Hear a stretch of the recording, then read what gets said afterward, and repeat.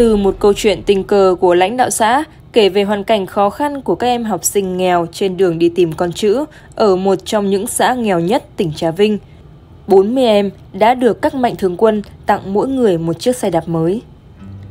Câu chuyện tình cờ chúng tôi đề cập ở trên là một cuộc đi thực tế cơ sở của ông Trần Đức Long, Bí thư Đảng ủy, Phó Chủ tịch Hội Luật gia Việt Nam về xã Phong Thạnh, huyện Cầu Kè, tỉnh Trà Vinh.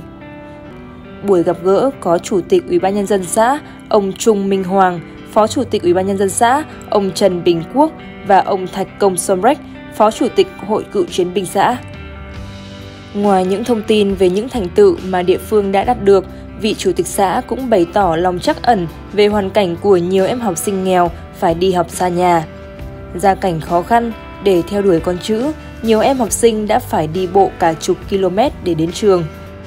Các cán bộ xã kể,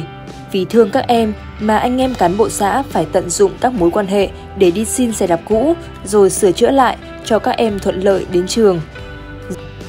Qua câu chuyện cảm động, ông Trần Đức Long, Phó Chủ tịch Hội Luật gia Việt Nam đã có một số ý kiến với các phóng viên, nhà báo của tạp chí Đời sống và Pháp luật trực thuộc Hội Luật gia Việt Nam cùng đi chuyến đi thực tế về một số biện pháp truyền thông câu chuyện này tới bạn đọc và các mạnh thường quân.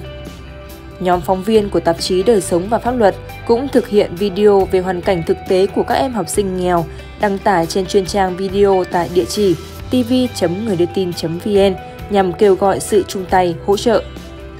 Đó là những gì đã diễn ra trước buổi trao tặng 40 chiếc xe đạp mới cho 40 em học sinh nghèo được tổ chức tại Ủy ban Nhân dân xã Phong Thạnh ngày 10 tháng 6 năm 2023.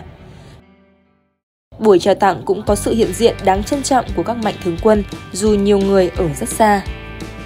Với ý nghĩa chào xe đạp, chở ước mơ, Trung ương Hội Luật gia Việt Nam, tạp chí Đời sống và Pháp luật cùng các mạnh thường quân muốn giúp đỡ, động viên các em học sinh có hoàn cảnh khó khăn, giúp các em có phương tiện đến trường, cổ vũ thêm động lực để cố gắng vươn lên trong học tập, vững bước trên hành trình vượt khó, học giỏi, trở thành công dân có ích cho xã hội.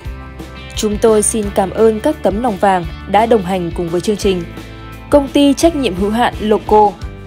Công ty trách nhiệm hữu hạn K-Shopping Công ty trách nhiệm hữu hạn xuất nhập khẩu Mê Công Xanh. Cửa hàng xe đạp Tuấn Kiệt, Trà Vinh.